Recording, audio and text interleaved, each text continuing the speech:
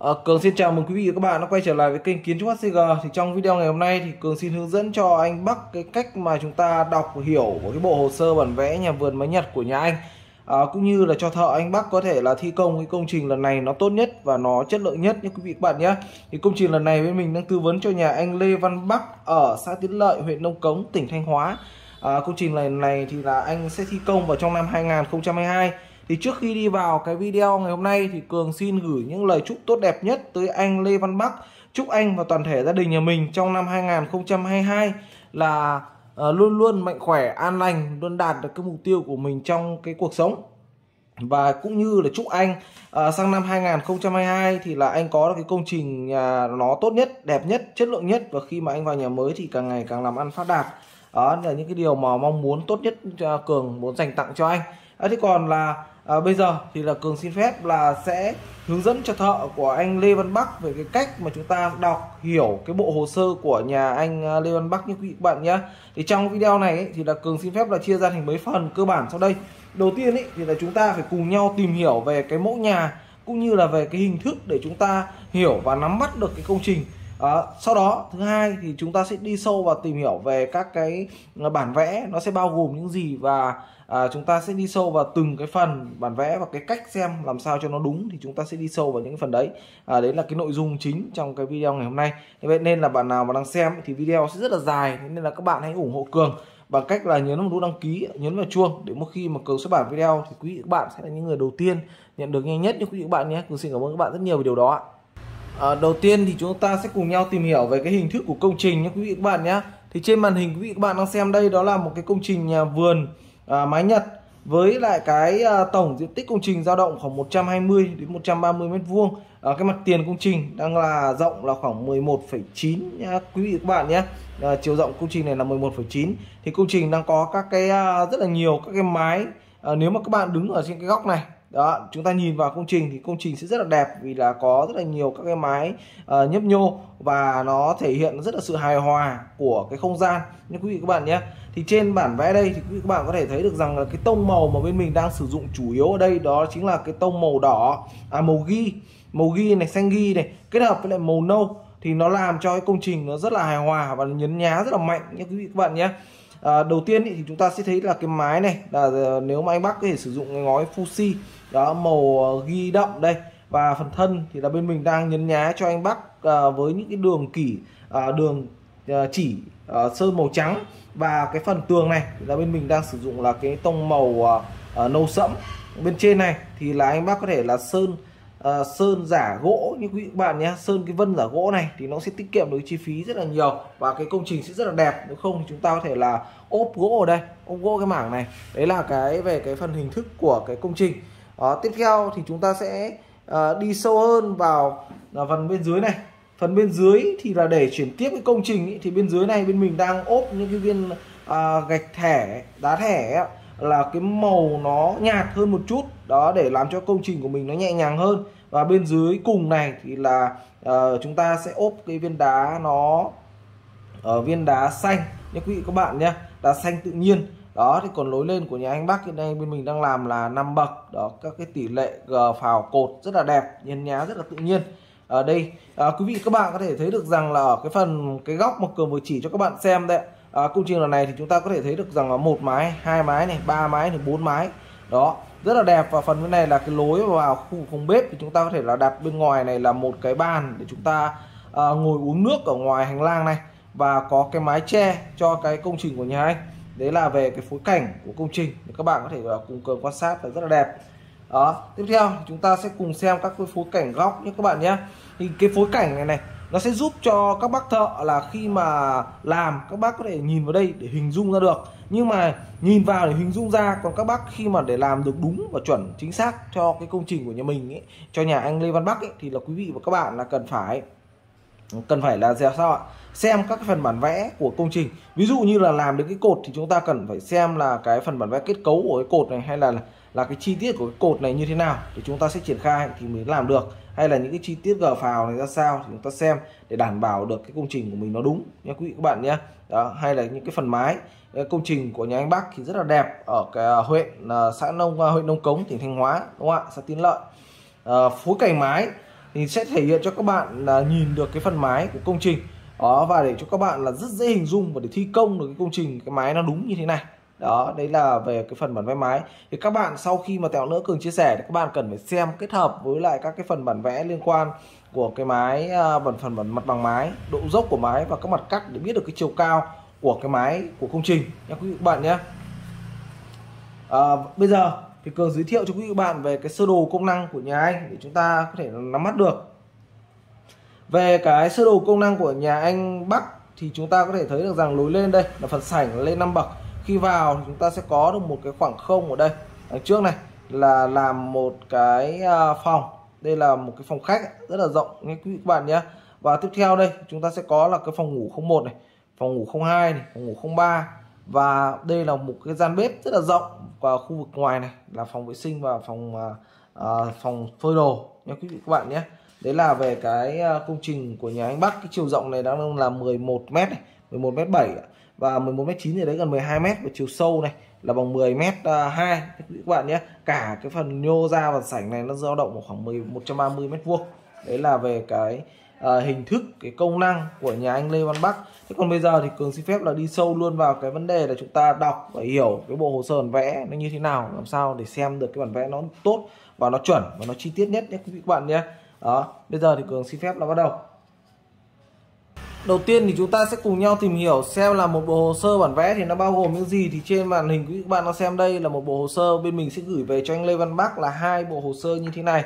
À, kèm theo là hai video hướng dẫn rất kỹ về cái cách mà chúng ta đọc và triển khai bộ hồ sơ bản vẽ giống như là cường đang chia sẻ cho các bạn xem đây. Đó thì trên bản vẽ thì nó sẽ có bốn phần cơ bản. Phần đầu tiên ấy là nó sẽ có cái phần kiến trúc. Phần kiến trúc là nó sẽ bao gồm những gì ạ? Phần kiến trúc là nó sẽ bao gồm cho quý vị và các bạn tất cả những cái phần à, phần da phần thịt của công trình. Từ phần cửa giả chi tiết đây là cột kiếc của công trình đấy là cái phần chi tiết của cái à, công trình. Đó. Và có tất cả những cái phần 3D như quý vị và các bạn đang vừa xem ở đây như là hình thức cái công trình như thế nào hay là kích thước ra sao đó móng mái như thế nào vân vân. Thì đấy là cái phần chi tiết hình thức đấy của công trình và phần tiếp theo là phần số 2 mà chúng ta sẽ thường thường là à, biết đến. Đây đó chính là cái phần à, cấu kiện cấu tạo nên cái công trình của nhà anh Lê Văn Bắc. Đấy thì cái phần này là cái phần người ta gọi là phần kết cấu. Như quý vị các bạn nhé đây là cái phần danh mục bản vẽ kết cấu. Thì là hồ sơ của mình bao giờ nó sẽ đầy đủ toàn bộ những cái phần như vậy. Đấy tất cả những phần bản vẽ kết cấu nó rơi khoảng 25 bản vẽ nữa nó rơi khoảng là uh, kết cấu. Và sau đó thì chúng ta sẽ kết cấu thì sẽ tính toán sắt thép cho các bạn. Ví dụ như là uh, thống kê cái thép của nguyên cái phần móng này là bao nhiêu thì là anh chỉ việc mua theo đúng cái phần phần sắt này là đã làm được cái công trình rồi. Thế còn trong video thì mình sẽ hướng dẫn cho anh là uh, video về phần kết cấu thì mình hướng dẫn là sẽ là dầm gì và dùng bao nhiêu đai đai như thế nào thì là mình sẽ hướng dẫn rất rõ. Đấy là phần kết cấu các bạn nhé. Phần bản vẽ về phần điện là phần nước thì cho chúng ta biết về điều gì ạ? À, phần bản vẽ phần điện phần nước thì cho chúng ta biết tất cả những cái mục uh, mục số uh, Ờ, số 3 số 4 là phần điện phần nước ý, thì cho chúng ta biết được rằng là à, các cái, cái ổ điện hay là các cái kích thước của ổ ra sao như thế nào. Đấy là bố trí ra sao để cho chúng ta hiểu được là à, cái công trình của mình. Ví dụ như đây là trên cái này là mặt bằng về cái giường bố trí giường. Thì cái cái cái h 650 này nghĩa là gì? Nghĩa là cái ổ cao so với là cái đầu giường này là bằng 650 nhưng mà ví dụ như là H400 tức là từ mặt đất này lên đến cái phần mà sau cái ghế sofa này đó, đang là bằng 0.4 đấy thì tất cả những cái này thì chúng ta sẽ sẽ có ở trên cái à, phần bản vẽ của công trình điện nước nhé quý vị các bạn nhé.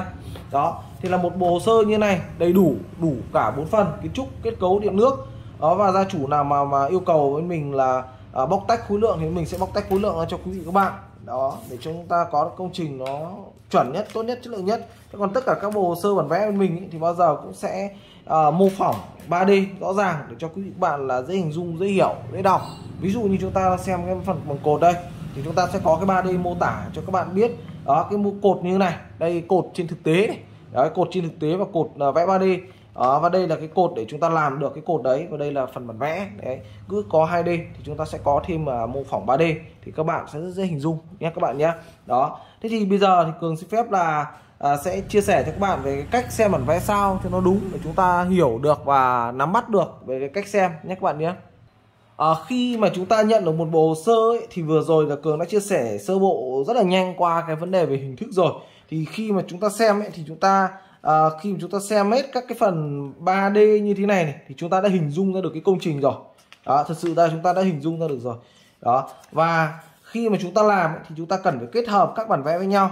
Ờ, vì chúng ta làm xem nó sao cho đúng mà thì chúng ta cần phải xem kết hợp các bản vẽ với nhau. Đầu tiên ấy, thì phần bản vẽ phần kiến trúc nó sẽ chia ra thành 27 bản vẽ.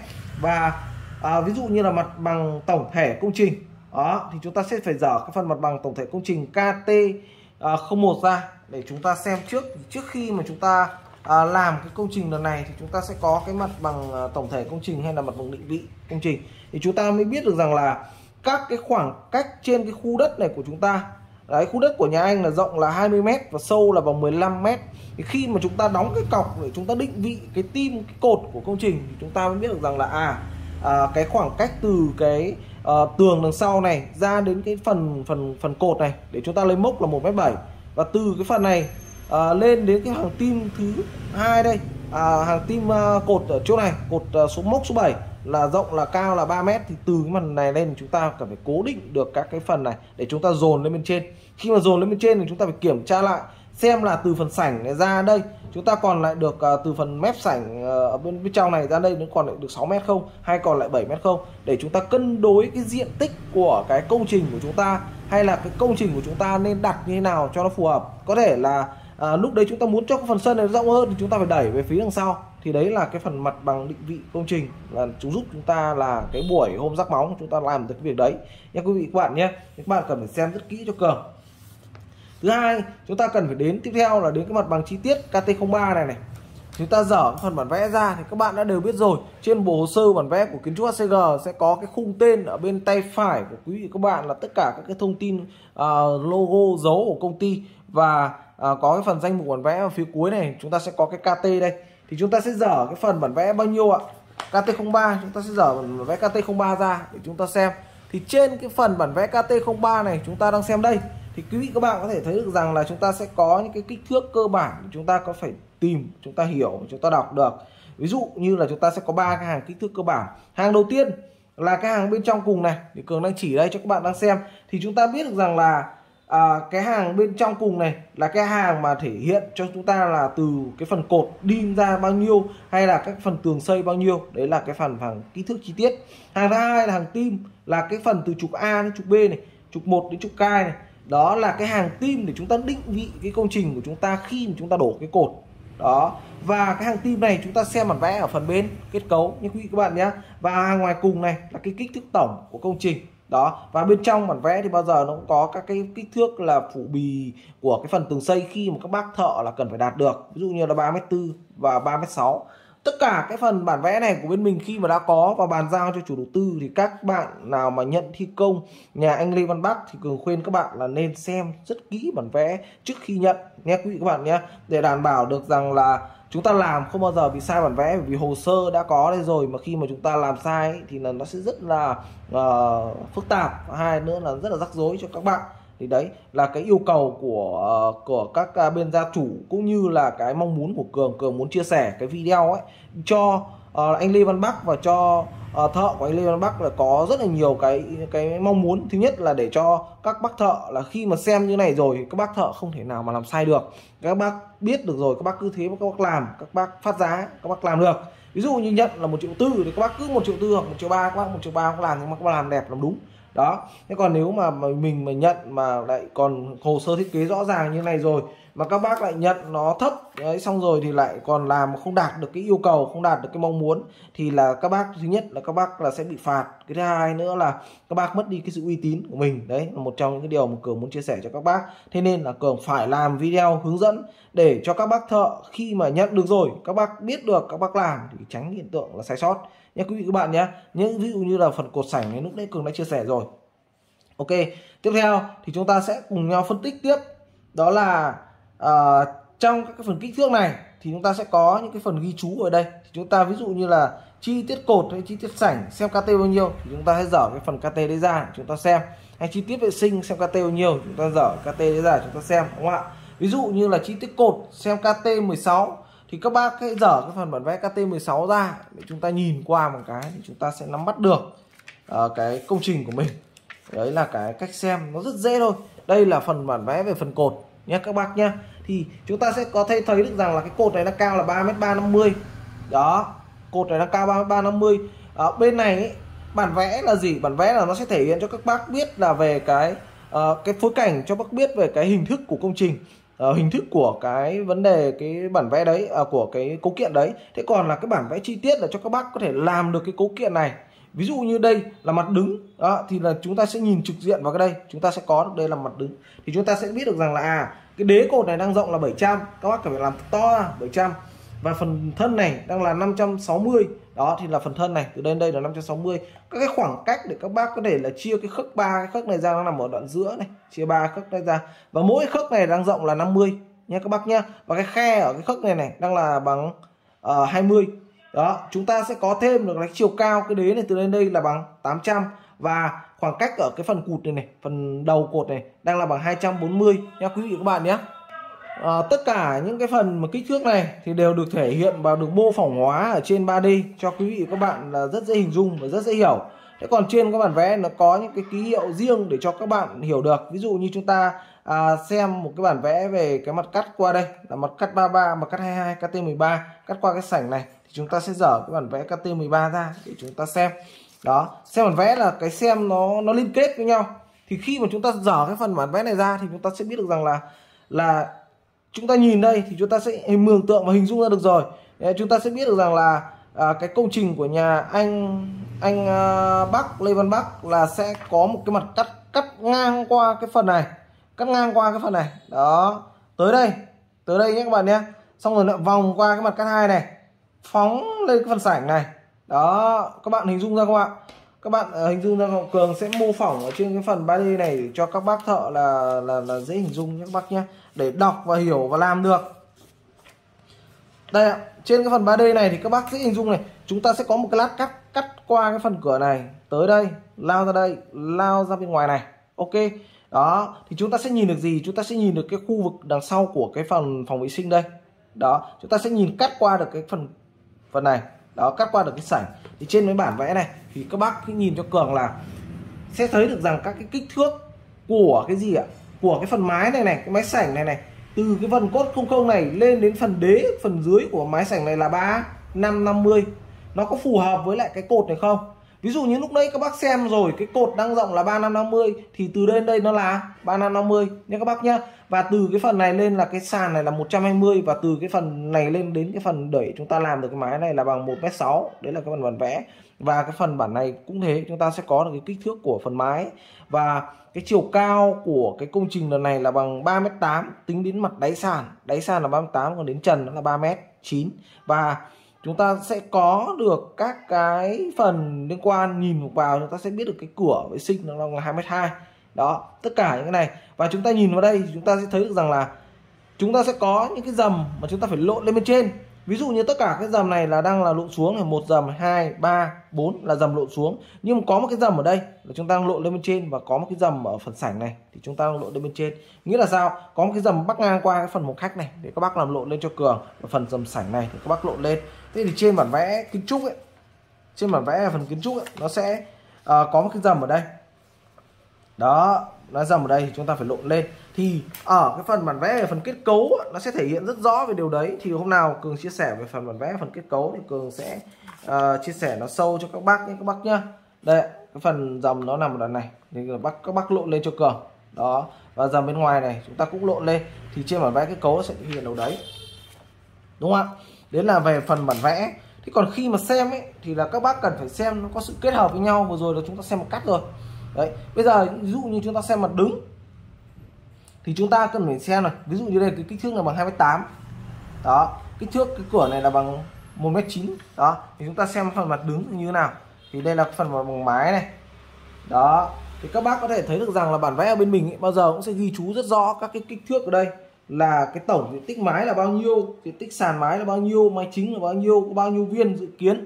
Và à, các cái độ dốc của mái là 58 độ à, đấy 58 độ. Tất cả này là 58 độ. Có cái khoảng cách để cho các bác biết. Các bác xem ở cái phần bản vẽ và phần mặt đứng ở mặt cắt ấy thì các bác biết được rằng là cái chiều cao của cái máy này là bao nhiêu cao nhất của cái máy này là bao nhiêu khoảng cách này là bao nhiêu. Đó thì làm cái công trình nó mới đẹp được nhé các bác nhá. Nếu mà chúng ta không xem kết hợp bản vẽ lại với nhau được ấy, thì rất khó để thi công được cái mái nhà của nhà anh Lê Văn Bắc nhé các bác nhé bởi vì cái mái này là bên mình sẽ tính toán rất rõ rất chi tiết cho các bác rồi. Nếu mà các bác mà không xem bản vẽ thì không thể nào làm được.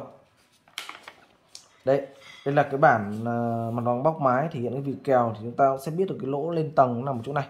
Đó, ok. Và chúng ta sẽ có cái mặt đứng. Như lúc nãy cường đã chia sẻ với các bạn để cho các bạn chú ý đó là cái kích thước cửa này rộng này.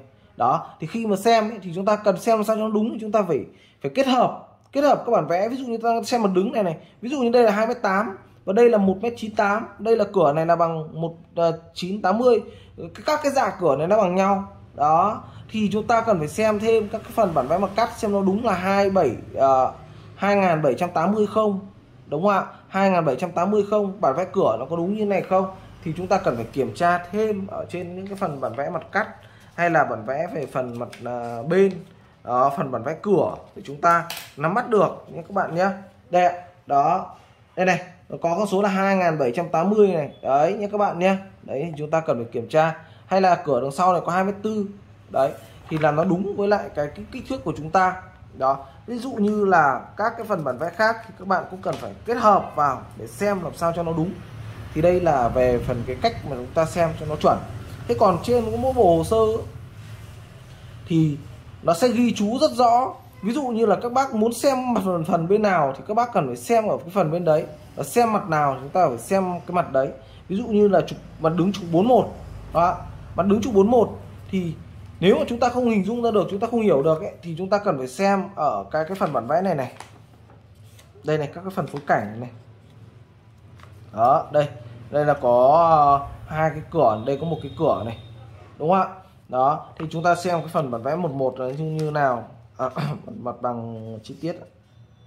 À, cường chia sẻ nó sẽ rất là chi tiết. Đây ví dụ như mặt đứng trục 14 là nhìn từ đằng này vào thế mà đứng trục 41 là nhìn từ phần đằng sau lại nhé các bác nhé. Thì đây chúng ta có hai cửa to nhất. Là hai cửa này là 1980 1980 đây là cửa 1m2 Đấy, cửa đoạn này là có cửa sổ 400 đó nhìn từ đằng sau vào nhìn từ đằng sau ra. Thì chúng ta sẽ biết được rằng là à cái phần đằng sau cái nhà của chúng tôi nhà của của nhà anh Bắc ấy, thì là cái cửa này như thế này. Chiều rộng của cửa đây. Đó chiều cao à, rộng của cửa chiều cao của cửa là 1980 đây và cái khoảng cách của phần nhô ra ở phần mái này là bằng 600 à, bằng 500 và thêm à, 6 550 và nhô ra là 60 đó hay là các cái phần ốp đá đây có một cái ô cửa là 400 đến 400 các bác cần phải xem rất kỹ cho cường để tránh trường hợp là à, khi mà làm chúng ta sai không đúng nha các bác nhé và khi mà như vậy thì các bác cần biết biết được rồi thì các bác kết hợp với lại cái 3D các bác xem nó rất rõ. Đó, nếu mà bạn nào mà có một bộ hồ sơ chi tiết như bản vẽ của bên kiến trúc HCG ấy thì các bạn đảm bảo với các bạn là thi công rất là rõ ràng dễ dễ dàng. Và thứ hai nữa có cái sự uh, uh, bản vẽ cái video hướng dẫn này của mình ý, thì đa phần các bạn sẽ không thể sai được. Các bạn nhé các bạn xem thêm ở phần mô tả này. Ok uh, chúng ta hôm nay thì cường uh, phải trả rất nhiều video. Từ sáng giờ cường quay uh, bây giờ nó cũng 12 rưỡi rồi cường quay cũng hơi lâu hơi nói hơi nhiều. Đó các bác cần phải xem kỹ cho cường này. Sau đó thì chúng ta sẽ đến cái mặt lần bằng lát cái mặt bằng lát này này nó sẽ thể hiện cho quý vị các bạn về cái cái cái mốc lát cái công trình của chúng ta. Ví dụ như là trên tổng thể cái công trình của chúng ta mà để cho cái công trình nó đẹp thì chúng ta cần phải có những cái mốc lát. Đây là cái ký hiệu là mốc lát này, viên gạch định vị. Đó chúng ta lấy mốc lát xong rồi chúng ta phải lát cái viên gạch định vị từ đây. Thì các cái phòng này nó sẽ vuông đét theo cái công trình của chúng ta nhé các bạn nhé. Đấy là về cái phần mặt bằng lát sàn hay là các cái phần bản vẽ về phần chi tiết công trình khi mà làm đến phần nào thì các bác cần phải xem cái phần đấy để tránh hiện tượng mà chúng ta làm sai. Các bạn nhé. Các bản vẽ này thì đều có mô phỏng 3D à, ờ, các bản vẽ chi tiết cũng vậy. Đúng không ạ? À, các phần bản vẽ về phần vệ sinh này, các phần chi tiết về vệ sinh này giúp cho quý vị và các bạn là biết được rằng là cái tim của cái thiết bị này nó đặt vào đâu? Đó đặt vào đây đặt vào đây. À, đặt vào đây. Đó. Hay là chúng ta sẽ có độ dốc vào mái là bao nhiêu? Đó cắt qua vệ sinh thì chiều cao từ cái phần bên dưới này lên bên trên này là 400 và từ đây từ đây lên đây là bằng 2 mét tư. Và từ đây lên đây là bằng 400 chúng ta sẽ có được cái cái kích thước để chúng ta nhìn vào cái chi tiết chúng ta làm. Nên quý vị các bạn nhé. À, tiếp theo thì chúng ta sẽ đến các phần bản vẽ phần cửa. Thì các bạn cũng biết rồi thì phần cửa nó sẽ có hai loại cửa cửa đi và cửa sổ. Cửa đi là có hai cái kích thước là chiều rộng nhân chiều cao thôi. Và còn cửa sổ thì có cả cái bậu cửa. Ví dụ như bậu cửa này là 800 sau đó thì mới chiều rộng nhân chiều cao đúng không ạ? Đấy các bác cần phải xem. Và phần đằng sau này thì chúng ta sẽ có cái phần thống kê cái thiết bị về phần cửa. Và phần đằng sau này thì chúng ta sẽ có các cái phần uh, liên quan đến phần bản vẽ về chi tiết phần cửa. Thì uh, các bác cũng lưu ý cho cường đó là khi chat xong hoàn thiện đây này bạn phải chi, chi tiết nó sẽ thể hiện rất rõ này. Chat xong hoàn thiện thì các bác cần phải đặt đảm, đảm bảo để cho thợ lắp được là bằng 28 và còn các bác thợ cửa ấy, thì các bác cần phải quan tâm đến cho cường ở đây đó chính là cái kích thước thông thủy này này là cái kích thước phong thủy của cửa. Đó là cái phần lọt sáng ở trong này. Thì các bác cần phải đảm bảo cho cường là 27 x 23 2330 tất cả con số này là bên mình đã check theo cái thước lỗ ban rồi đó còn là cái thước phủ bì này thì không liên quan đến thước lỗ ban bên trong lòng này thôi. Đó thế là mình đã ghi chú rất rõ đây rồi. Đó để các bác có thể là làm cái công trình nó uh, tốt nhất nó chất lượng nhất nhé quý vị bạn nhé tất cả đây. Ở đây cường phải kéo xuống lúc đấy cường để cao quá các bạn không nhìn thấy. Đây này cái thông thủy này 830 x 23 50 này. đó tất cả cái này là cường đã ghi chú hết đây cho các bạn rồi. Đó ok. Thế nên là các bác khó thể làm làm sai được nhé các bác nhé. Ok. Tiếp theo thì trên bộ hồ sơ còn rất là nhiều các cái phần bản vẽ khác nữa như là bản vẽ về phần uh, những cái phần chi tiết nhỏ nhỏ này gọi là những chi tiết về sắt hộp để chúng ta hoa sắt cửa sổ hay là những cái chi tiết khác thì các bạn có thể là uh, sử dụng cái vật liệu nó phù hợp. Nhà chúng ta uh, có thể là sơn lồng sắt xong rồi sơn tĩnh điện hay các bạn có thể là dùng cái uh, inox. Đó inox Ừ, inox 304 chúng ta làm thì chúng ta sẽ cũng rất là bền. Để tùy chọn vào cái ờ, gia chủ vật liệu chúng ta kiểm tra lại trước khi mà chúng ta làm. Đó thì trong video sau thì cường xin phép là sẽ hướng dẫn rất sâu. À, thực sự ra phần kiến trúc thì không có gì nhiều cả nhưng mà để xem được ấy, thì chúng ta cần phải xem phần kết cấu này này. Đó kết cấu của công trình này thì các bạn hãy xem video kết cấu nhé các bạn nhé. Thế còn là khi mà làm công trình thì chúng ta cần phải kết hợp trước khi làm ấy, thì chúng ta cần phải xem kết cấu. Xem kết cấu à, xem kiến trúc sau đó thì chúng ta phải xem kết cấu. Để làm được nó thì chúng ta cần phải xem cái kết cấu này. Đó các cái tim cột này ra sao như thế nào định vị mốc như thế nào. Sau đó thì chúng ta mới tiến hành là xem cái phần bản vẽ phần kiến trúc. Đó. thế nhưng mà để hiểu được kiến trúc để xem được kết cấu thì chúng ta cần phải hiểu về kiến trúc trước. Sau đó chúng ta mới xem được kết cấu. Nhé các bạn nhé. Đấy là video sau. Mình xin phép là chia sẻ cho quý vị các bạn à, vậy nên là bạn nào mà đang xem cái video lần này của nhà anh Lê Văn Bắc thì các bạn có thể là cũng áp dụng được vào trong cái công trình của mình rất là nhiều. Cường thì muốn là cái trí tuệ sẽ được lan tỏa rộng hơn. Đó thế nên là bạn nào mà muốn là tư vấn thiết kế nhà này hay là thiết kế nhà này thì quý, quý, quý vị và các bạn là hãy liên hệ ngay với kiến trúc HCG qua số điện thoại là 0988 799 32 thì là cường sẽ là người trực tiếp tư vấn thiết kế cho quý vị và các bạn nhé quý vị và các bạn nhé. Cường xin chào và lại quý vị và các bạn trong những video tiếp theo. Chúc quý vị và các bạn là sang năm mới an khang, thịnh vượng, giàu sang, phú quý.